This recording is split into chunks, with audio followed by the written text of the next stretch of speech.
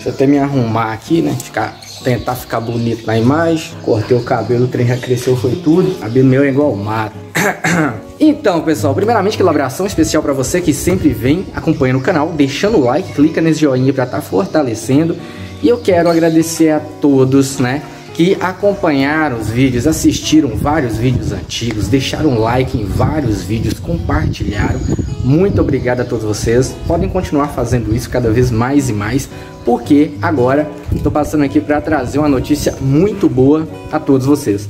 Né? Como vocês viram, o canal veio passando por um certo problema, né? Já não é o primeiro, já teve vários, infelizmente aí, né? A gente já teve algumas dores de cabeça aí, mas faz parte, né? E um tempo atrás vocês viram aí, infelizmente aconteceu o problema que nosso canal foi desmonetizado. E além disso também o alcance né, diminuiu muito por causa desses problemas, então isso daí é muito ruim, né? Péssimo. Então agradeço a todos vocês que sempre vêm fortalecendo, assistindo os vídeos, compartilhando, né? Vocês que vêm aí há anos e anos, né? Acompanhando o canal, né? Sabem que isso daí foi uma coisa complicada que aconteceu com a gente.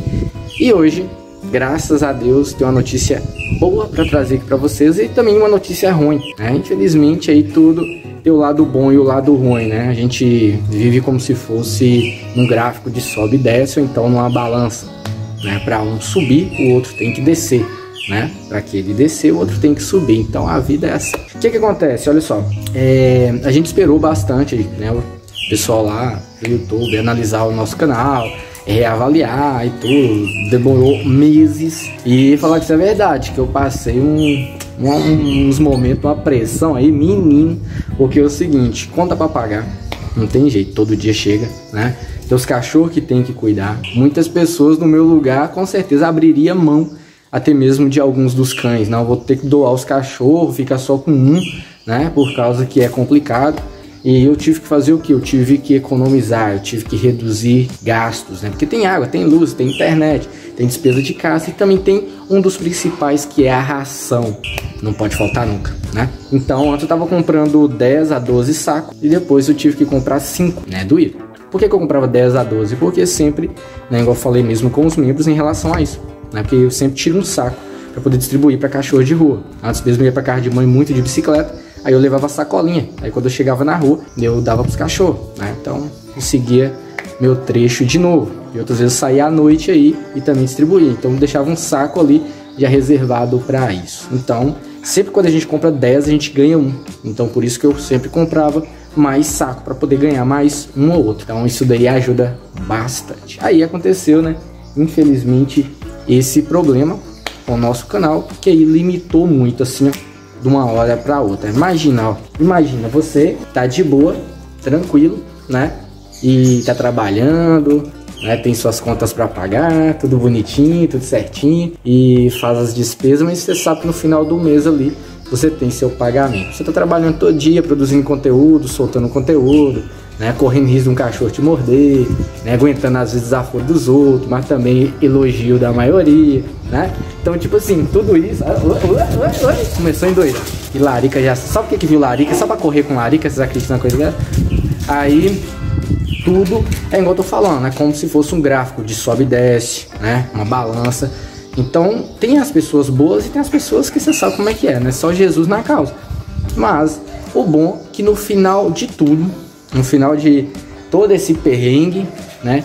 Graças a Deus foi avaliado novamente, os analistas olharam e tudo e constataram que não, tinha, né, problema. Então voltou aí a questão da monetização. Eu acho que vocês já tinham percebido agora, foi de ontem para hoje, né? É, tive que avaliar, analisar vários vídeos, caçar problema e graças a Deus não tive problema mais. Eles também olharam, não teve problema. Maravilha Maravilha. Muito obrigado aí a equipe, né? Toda a equipe aí do YouTube que tiraram tempo para poder olhar meu canal, porque, né? Muito obrigado mesmo de coração. Graças a Deus no final deu certo, né, gente? Mas a gente tem que ter muita paciência, muita paciência. E aí, é, aconteceu isso, né? Estou muito feliz em relação a isso, né? Agradeço também a todos os membros, os novos membros do canal. Agora tá liberado aqui também para é, receber membros, né? É, então, muito obrigado a todos vocês aí que vão se tornar membro vocês que vão renovar também a questão disso.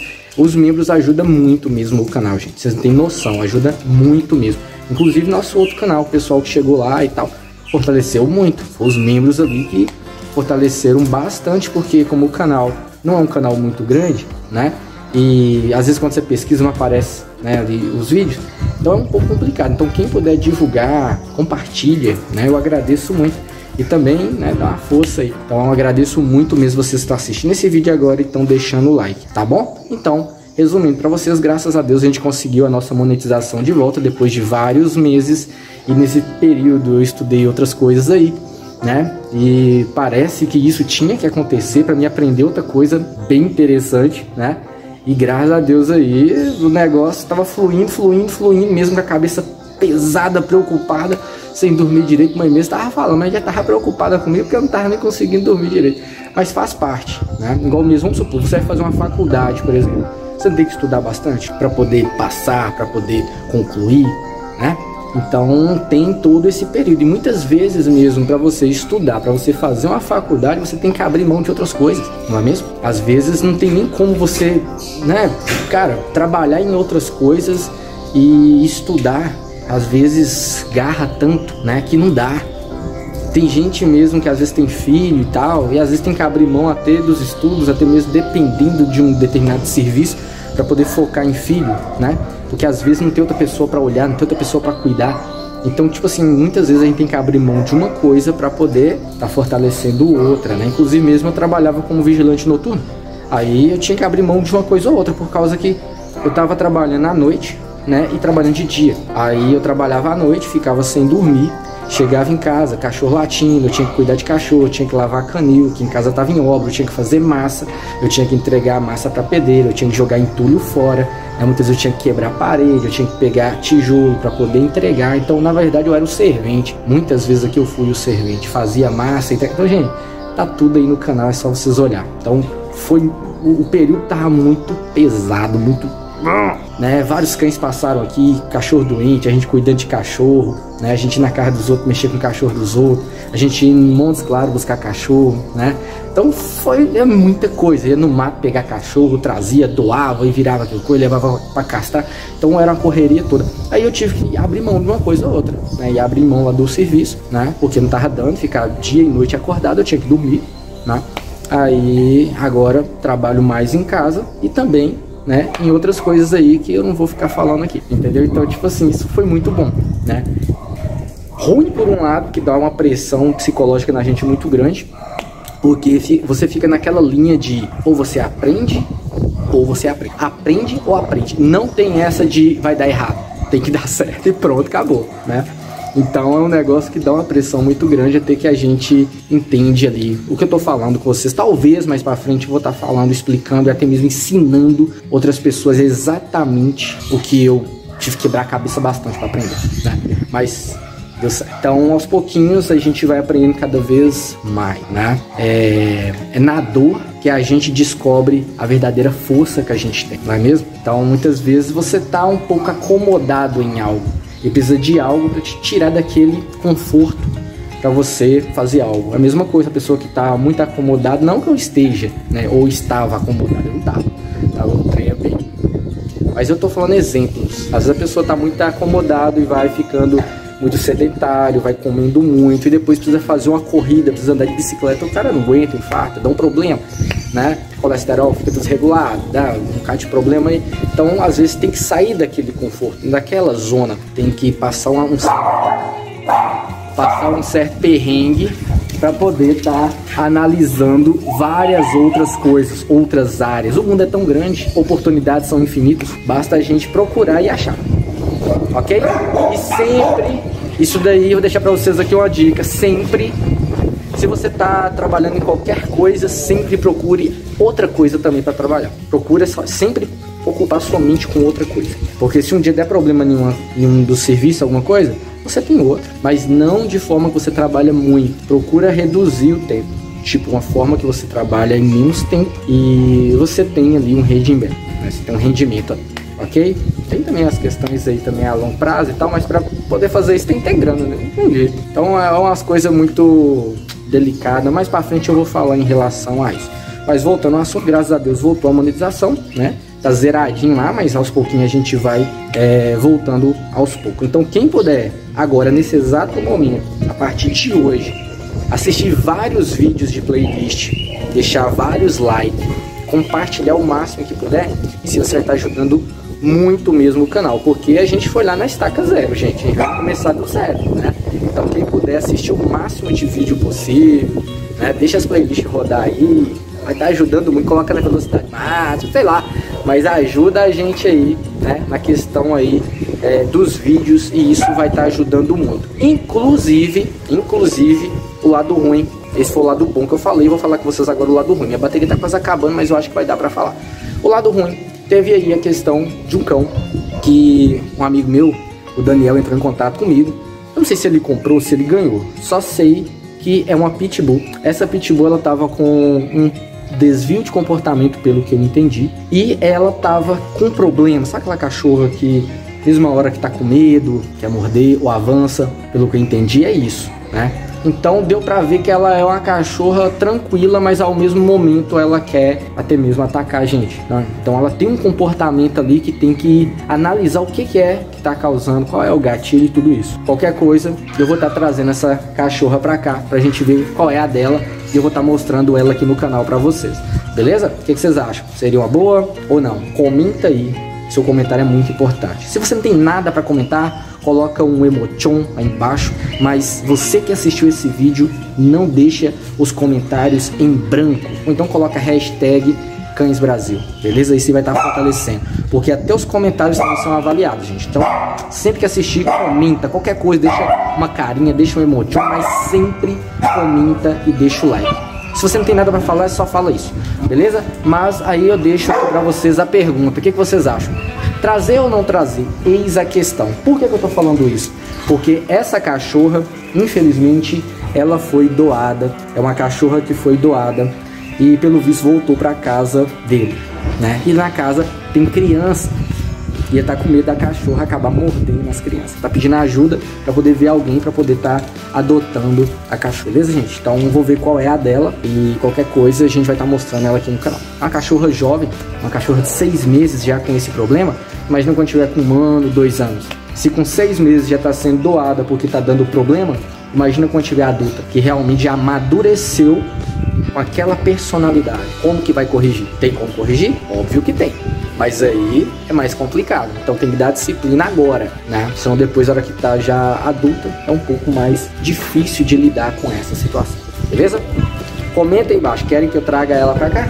Vou ver com o menino, né? O Daniel, pra ver se dá certo ou não. Esse caso é um caso bem. Tem umas palavras que tem que tomar cuidado para falar aqui, mas eu tinha falado mesmo para ter com o André em relação a isso. Tem palavra que às vezes o algoritmo pode entender que é outra coisa que a gente está falando, né? Mas aí tem que filtrar até o que a gente conversa aqui para não dar mais B, ó. O que que acontece, gente? Tem cachorro que é problemático, tem cachorro que tem gatilhos, tem cachorro que não tem problema nenhum. Por quê? Que muitas vezes o problema está no manejo, cada ação tem uma reação. Então a gente vai ver qual é o gatilho que ocorre, né? A mudança de comportamento, de foco dessa cachorra. Porque pelo visto, se vacilar, ela morde até a gente. Né? Com seis meses já tá assim, imagina quando tiver realmente adulto. Aí a gente não sabe se isso veio dos pais, dos avós, né? É o que eu sempre digo, toma cuidado em questão, talvez, não sei, ali, outro cão ali, não sei. Não vou ficar aprofundando isso aqui, não, senão depois tem gente que acha que eu tô falando. Mas vocês já entenderam o assunto. Já falei e expliquei isso em outros vídeos, beleza? Então, muitas vezes ocorre esse fato que futuramente, dentro de uma ninhada ali de alguns filhotes, nasce um ou outro que tem desvio de comportamento. Então aí sobra pra quem? Sobra pra gente mexer, né? Eu gosto, eu gosto do cachorro, de um cachorro que desafia. É interessante, né? Mas tem que tomar muito cuidado, porque tem gente que às vezes vai mexer, entende que é outra coisa, e o cachorro vai lá e creu, acaba mordendo. Quer dizer que eu não corro o risco de ser mordido? Óbvio que não tem nada a ver uma coisa com a outra. A gente também corre risco, como eu já fui mordido aqui mexendo com um cachorro que tinha desvio, né? Inclusive mesmo, é, a gente tem aí também a Blanca, né? Que ela é, veio pra cá porque, segundo informações, ela queria morder até gente. Ela já tinha matado cachorro e tal. Então tá aqui tranquilaça comigo, de boa, nunca quis me morder. Ela faz uns barulhos estranhos de vez em quando, mas isso é dela. Então cada cachorro tem o seu limite. Cada cachorro tem o seu limite. E é uma cachorra que, por exemplo, vai pra casa de alguém, o cara vê que é bonitinha, tá brincando, um vacilinho assim já era. Se ela escapar, se ela sair, é problema na certa. Então, são cães que têm sim uma certa periculosidade, mas é por causa da raça? Não. Tem muitos aí, muitos Bull Terrier, que vivem e convivem com crianças, com outros cães de boa, né? E já tem outros que não, da mesma forma Pitbull, tem muitos que convivem com outros animais, com outros cães e é de boa. Aqui em casa a gente tem exemplos de cachorra pitbull que dá certo com outras e cachorra pitbull que até dá certo, mas o grau de tolerância é muito pouco. Um vacilo acaba brigando, não é mesmo? Da mesma forma, show show, né? E outras raças também.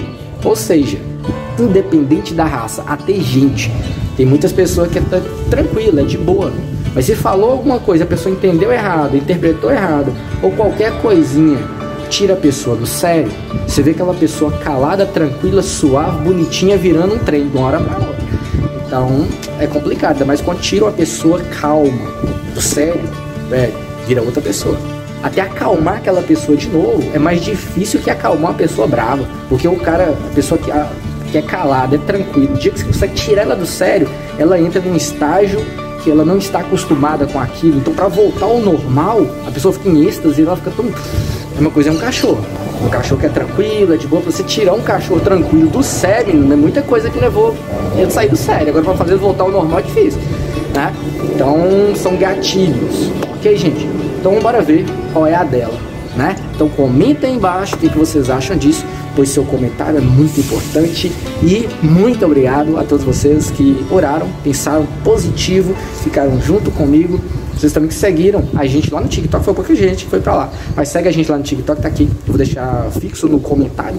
Clica aí e vai lá, porque lá a gente vai poder trocar ideia também sobre várias coisas. Beleza, gente? Então é isso, fiquem todos com Deus. Se inscreva no canal se não é inscrito. E em breve a gente vai estar tá trazendo qualquer coisa essa cachorra pra cá. Não sei se ele vai querer, talvez ele já doou ela, né, que tava pra adoção, mas é uma cachorra que tem que tomar cuidado, porque às vezes aparece muita gente querendo, ah, é pitbull, vou adotar.